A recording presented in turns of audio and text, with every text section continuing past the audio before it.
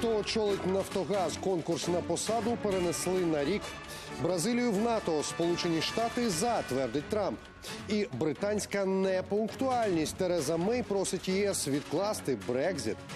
Актуальні та важливі події протягом дня, як завжди, оглядаємо у випуску новин. У студії Олексій Фадєєв. Вітаю. Українському війську сьогодні троє поранених. Окупанти вночі били з гранатометів по наших позиціях на підступах до Лебединського на півдні Донеччини. Ну а зранку з мінометів 120-го калібру атакували захисників Новолуганського. Гаряче сьогодні було на околицях Мар'їнки. Там ворог влаштував чергову провокацію. Із місця подій наша знімальна група. Про таких військові кажуть, народився у шоломі. Як ти себе? Нормально. Живий? Так. Скоро буде живий. Григорій був поранений у голову ворожим снайпером. Куля пройшла дотично. Стан кваліфікують як середньої тяжкості. Бійця евакуюють до Покровська, де медобладнання досконаліше. Поки що, за прогнозами лікарів, на одужання піде мінімум місяць. Солдата вчасно доправили з передової медики королівської 24-ї бригади. від е, моменту поранення до моменту евакуації сюди нашу Краховську лікарню, де є стабілізаційна лікарня, е, бригада від госпіталя. Проходить десь приблизно так в середньому 40 хвилин. Якщо буде потребувати його стан, буде переведений чи в Харків, чи в Дніпро на подальші етапи медичної евакуації. Це вже четвертий поранений від куль ворожих снайперів на цій ділянці. Український воїн йшов на спостережний пункт за зміною на своє бойове чергування, коли в нього влучила куля снайпера. Саме снайперський вогонь на цій лінії оборони стає нестерпним. біль. Краще я би був на його місці. Андрій командир Григорія. Його побратим Дмитро також потрапив під цей обстріл. с частного сектора. Потому что я сам э, пробегал специально, а, ну, чтобы выявить, с какого направления стрельба была. И он мне, по мне сразу три пули выстрелил. Направление стрельбы было вот так от меня. Ворог працює підло, цинічно. Даний випадок стався на Україні населеному пункту Мар'їнка, де гуляють. При мені сьогодні гуляли е, мами з маленькими дітьми, двохрічними, трьохрічними. Лінія зіткнення тут проходить житловими кварталами передмістя Донецька, Мар'їнки. Тож російські снайпери традиційно використовують забудови для прикриття. Побратими Григорія та і він сам пробачати ворогові такі дії не збираються. І за себе, і тим більше за країну. Геннадій Вівденко, Вадим Ривун та Віталій Ліщук. Новини телеканал Інтер із Донецької області. Провокують росіяни не лише українських військових. Винищувачі НАТО перехопили російські літаки біля узбережжя Ісландії. Два протичовнових Ту-142 увійшли у повітряний простір альянсу. Як повідомили сили берегової охорони Ісландії, інцидент стався у понеділок. У відповідь на випад росіян у повітря було піднято два італійські винищувачі Eurofighter Тайфун, які тимчасово базуються в Ісландії у рамках програми НАТО з повітряної оборони країн, що не мають своєї військової авіації. США підтримують можливе членство Бразилії в НАТО. Про це заявив президент Дональд Трамп на зустрічі зі своїм бразильським колегою Жаїром Болсонару у Вашингтоні. Лідер Білого Дому також підтримав заявку Бразилії на вступ в організацію економічної співпраці та розвитку. Нагадаю, Бразилія зараз входить до групи країн БРІКС разом із РФ, Іраном, Китаєм та Південно-Африканською Республікою. І Я маю намір розглядати Бразилію як головного союзника, що не є членом НАТО. Але навіть якщо про це подумати, можливо, і союзником НАТО, це треба обговорити із багатьма людьми. Такий крок значно зміцнив би безпеку та співпрацю між нашими країнами. Процес тимчасової передачі влади у Казахстані завершено після того, як напередодні Нурсултан Назарбаєв оголосив про відставку. Виконувати обов'язки глави держави до найближчих виборів буде колишній спікер сенату Касим Жомарт Токаєв. Сьогодні він склав присягу. А от його колишню посаду керівника верхньої палати парламенту тепер очолить старша дочка Назарбаєва Дарига. До того ж, парламентарії сьогодні увічнили пам'ять першого і поки що єдиного президента ще за його життя. Столиця країни невдовзі отримає нову назву Нур-Султан. Ну а про події поки що в Астані. Далі мої колеги. В Астані сьогодні унікальна подія спільне засідання верхньої та нижньої палат парламенту. Нагода історична. Вперше після розпаду СРСР Україні змінився лідер. Під урочисту музику слідом за почесною вартою до сали заходить Касим Жомарт Токаєв. Далі на конституції він присягає вірно служити народові Казахстану. Та від сьогодні до наступних виборів у квітні 2020 року обіймає посаду президента. Урочисто присягаюся вірно служити народові Казахстану суворо, дотримуватися конституції і законів Республіки Казахстан, гарантувати права і свободи громадян, сумлінно виконувати покладені на мене високі обов'язки президента Республіки Казахстан. Токаєв ще за радянських часів працював дипломатом. Потім був міністром закордонних справ країни. А з 2014-го – головою сенату. У промові політик відзначив досягнення свого попередника Нурсултана Назарбаєва та навіть запропонував перейменувати столицю Астану і центральні вулиці міст на його честь. Назарбаєв, беззмінний майже три десятки років лідер республіки, оголосив про відставку напередодні. Я принял непростое для себя решение сложить с себя полномочия президента Республики Казахстан. В этом году исполняется 30 лет моего нахождения на посту высшего руководителя нашей страны. Я был удостоен великой чести моим великим народом стать первым президентом независимого Казахстана. Таке рішення лідера нації без перебільшення стало несподіванкою для народу. Раптова відставка спричинила неабияку паніку. Одразу здорожчав долар. Люди кинулося скуповувати валюту. Деякі обмінники через ажіотаж тимчасово зачинили. Это внезапно, и... но тем не менее, мне кажется, что все должно пройти. Я бы никому не доверила больше страну Казахстан, кроме него, честно. Та, попри здебільшого лояльне ставлення казахів до Назарбаєва, його часто звинувачували в авторитарності та придушенні інакомислення. У перші роки керування він розпустив опозиційний парламент, а потім зібрав новий, але вже з обмеженими функціями. Повноваження Назарбаєва багато разів подовжували, і зрештою обмеження щодо кількості президентських термінів у 2007-му взагалі зняли. Навіть ідучи з посади, Нурсултан Назарбаєв усе ж повністю не відсторонюється від керування державою. За ним лишається законодавчо закріплений статус лідера нації та посада керівника Ради безпеки. Назарбаєв також і далі очолює партію Нур Отан. Аліса Орлова, новини, телеканал Інтер. Продовжуємо випуск. Непунктуальність чи нерішучість. Такий упевнений донедавна Лондон просить ЄС відкласти Брекзит. Прем'єрка Тереза Мей навіть написала про це листа голові Європейської ради Дональду Туску. Чому ж трьох років забракло і що відповість Європа на прохання Британії? Про все це у матеріалі Світлани Чернецької. Дорогий Дональде, починається лист Терези Мей. У ньому вона детально описує перипетії Брекзиту. Як двічі депутати відхилили угоду щодо умов розлучення, як спікер парламенту заборонив виносити документ на голосування утретє, і як тепер прем'єр вимушена просити ЄС про відтермінування. Я попросила відстрочення дати виходу до 30 червня. Уряд планує винести пропозиції щодо третього голосування стосовно угоди з Брекситу. Якщо парламент затвердить документ, то ми матимемо час підготувати закон про вихід з ЄС. А якщо ні, парламенту доведеться вирішувати, що робити далі. Але як прем'єр-міністр я не готова відкладати Брексит на довше аніж до 30 червня. Всього три місяці просить Лондон у Брюсселю, наче й небагато. Але з часу референдуму щодо Брекзиту минуло три роки, і їх виявилося замало, щоб підготувати вихід Британії з ЄС. Тож до нового прохання Лондона Європа ставиться з пересторогою. Те, що британський парламент не ратифікував угоду з Брекзиту, призвело до серйозної незвичайності як для Великої Британії, так і для країн Євросоюзу. Європейська рада вирішить, що передусім в інтересах ЄС. Продовження цієї невизначеності без чіткого плану лише збільшить економічні збитки для бізнесу. А крім того, може обернутися і політичними втратами для ЄС. Поки в Британії розбрат між парламентом та урядом, усі козирі в руках Європи. Тепер усі решта 27 лідерів країн ЄС мають одноголосно вирішити, давати Лондону відстрочку чи ні. А вмовити їх буде непросто. В уряді немає згоди, як і у консервативної партії. Відсутня вона і в британському парламенті.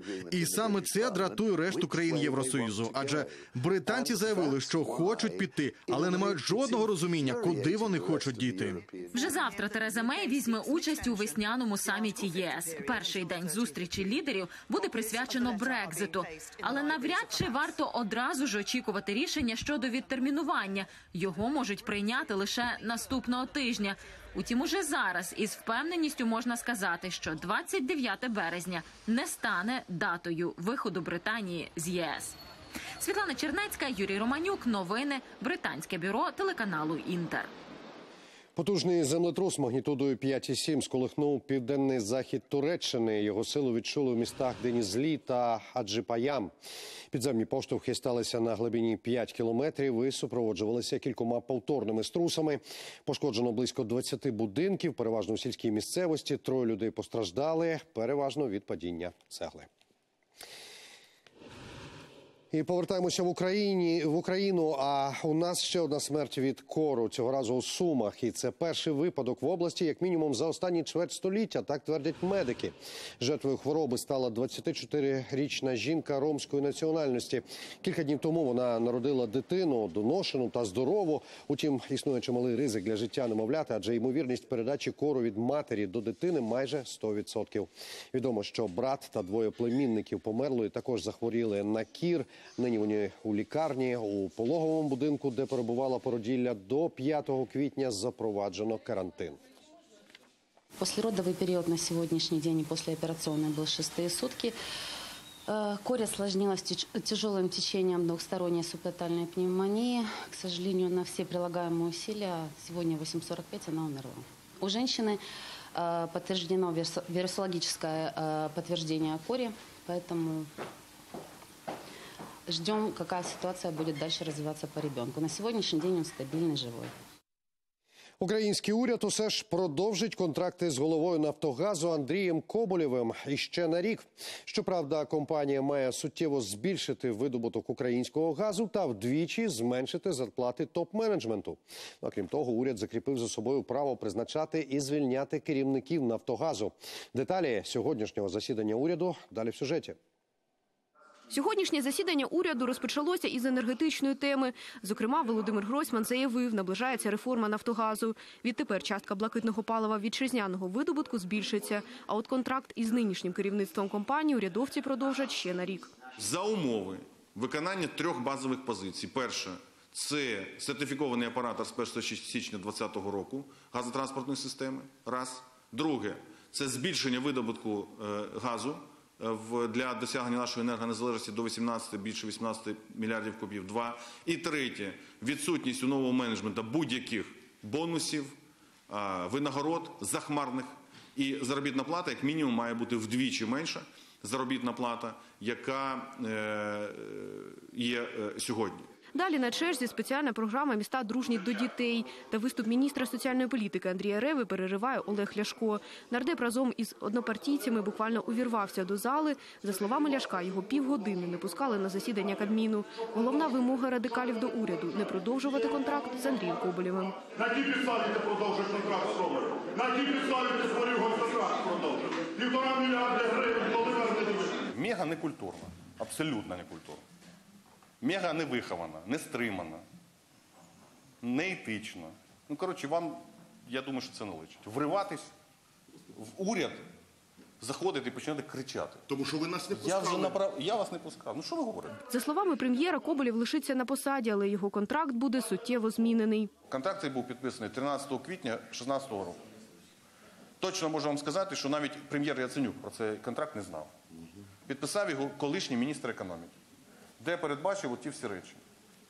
Е, я заявив ще в кінці минулого року, що на таких умовах контракт продовжений не може бути. Після півгодинної сварки Ляшко та Гройсман дійшли згоди лише в одному. Уряд та Верховна Рада мають спільно працювати над законом, за яким Коболєв має повернути до держбюджету півтора мільярда гривень своєї премії. Лариса Зубенко та Богдан Савруцький. Новини телеканал Інтер. Сам собі автодор на Прикарпатті селяни, не дочекавши шляховиків, узялися власноруч лагодити аварійну дорогу. На ремонт скинулися всім селом, назбирали кілька тисяч гривень, яких вистачило на увага понад два кілометри траси. Утім, тепер вони бояться, що за це їх можуть покарати. Хто і чому? Дивіться далі. При в'їзді в село Новиця киплять ремонтні роботи. Задорожників місцеві чоловіки. Озброївшись кувалдою, паяльною лампою та віброплитою, самотужки латають ями. Взялися за ремонт від безвиході. Бідкаються люди. Кілька кілометрів дороги, що веде до села від центральної траси, суцільне бездоріжжя. Участок в 3 кілометри. Потрібно 2-3 рази зупинитися, щоб пасажири вийшли, зайшли, вийшли, зайшли. Скинулися грошима. Кажуть, так все одно дешевше, ніж постійно ремонтувати машини. На зібрані кошти закупили холодний асфальт та заправили газові балони.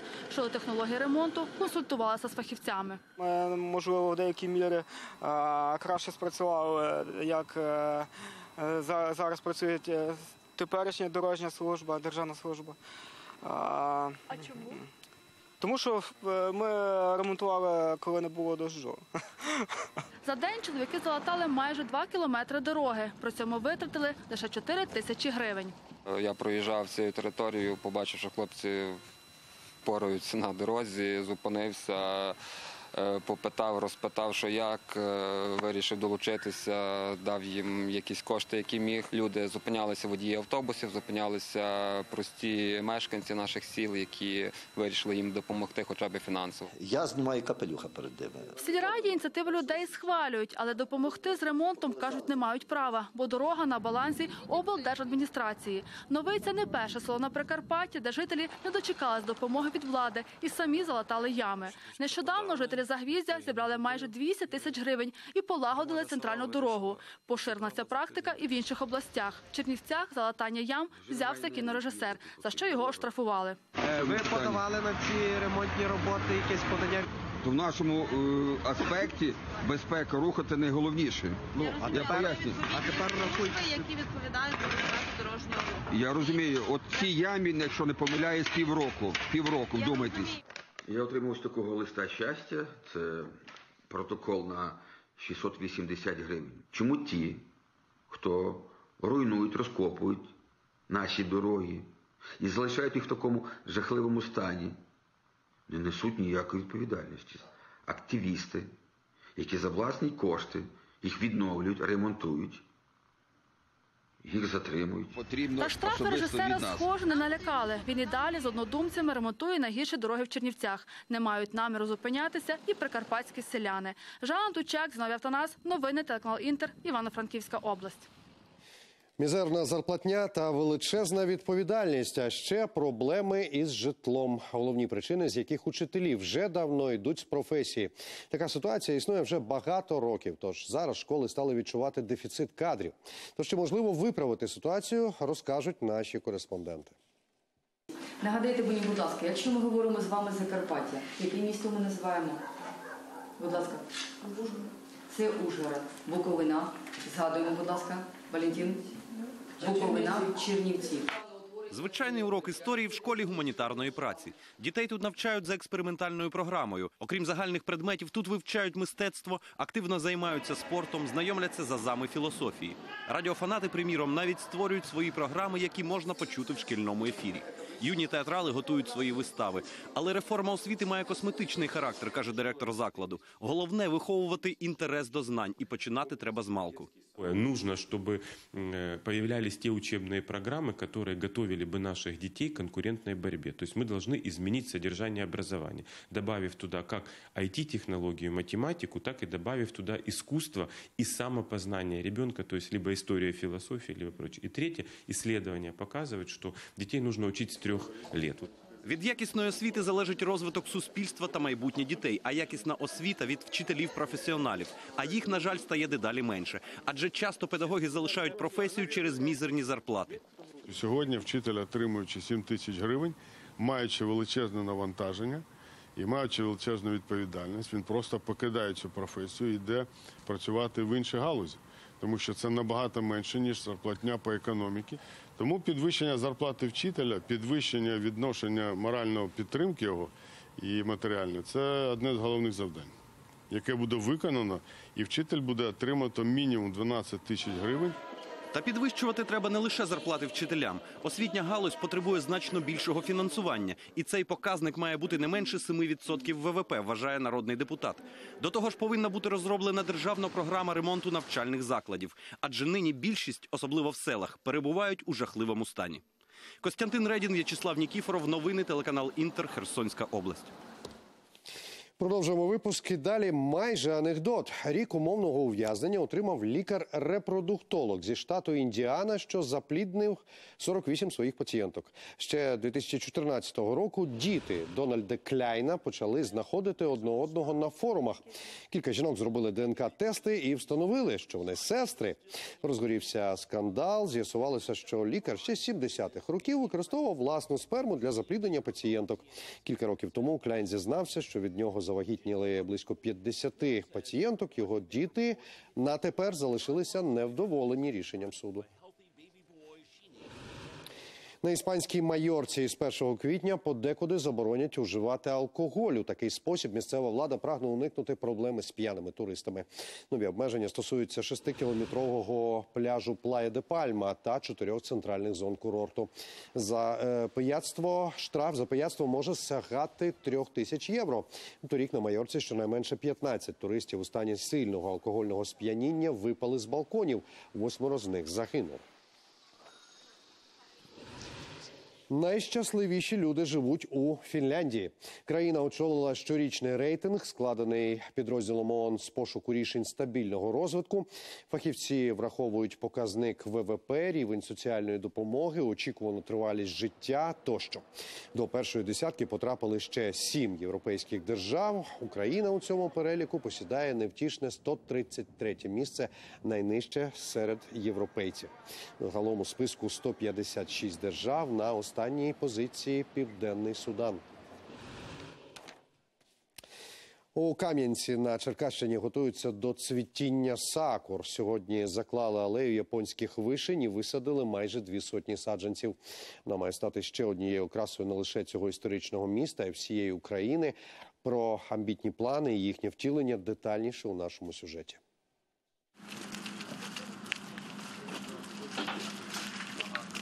Зранку у Кам'янці кипить робота. Працівники комунальних підприємств вивантажують саджанці вишні. Їх сюди привезли зі столиці, щоб закласти унікальну алею. Утім, і самі дерева теж екзотичні. Це японська сакура. Пані Марія радіє таким змінам. Каже, раніше на цьому місці росли занедбані яблуні. Були яблуні. Ну, вони були дуже старі. О, і цей.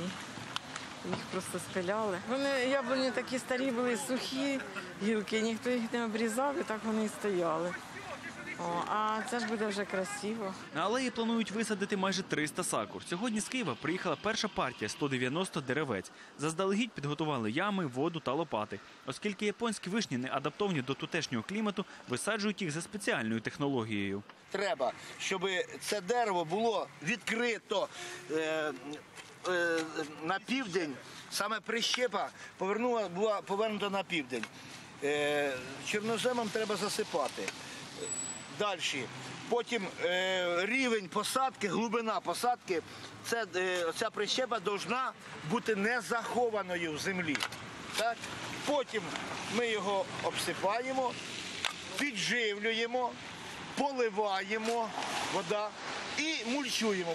Загалом на 880-метровій алеї мають висадити 286 сакур. Кожне дерево обійшлось місту у 3 тисячі гривень. Гроші виділив закордонний інвестор, який будує у місті сонячну електростанцію як компенсацію на озеленення. Коштом місцевого бюджету тут уже проклали тротуар. Планують встановити лави, освітлення та дві арки при вході і виході з алеї. Не міг я не приєднатися до громади. І сьогодні в цей символічний день, а сьогодні міжнародний день щастя, е, не взяти участь в облаштуванні цієї першої алеї сакур. Не треба тепер їхати ні в Ужгород, де, як відомо, сакури цвітуть, ні е, в Токіо. Приїжджайте в Кам'янку. Очікують, що зацвітуть сакури уже наприкінці квітня, а вже 3 травня алею урочисто відкриють для всіх бажаючих. Андрій Кривець, Леоніда Борін, новини телеканал Інтер, Черкаська область. Ну і звісно, цвітіння сакури починається на її батьківщині, тобто в Японії. Перші бутони розпустилися на контрольних деревах у парку Нагасакі на острові Кюсю. Гілки вкрилися квітами на чотири дні раніше через теплу погоду. Щороку цвітіння сакури, яку вважають символом Японії, приваблює до вишневих садів цієї острівної країни тисячі туристів з усього світу.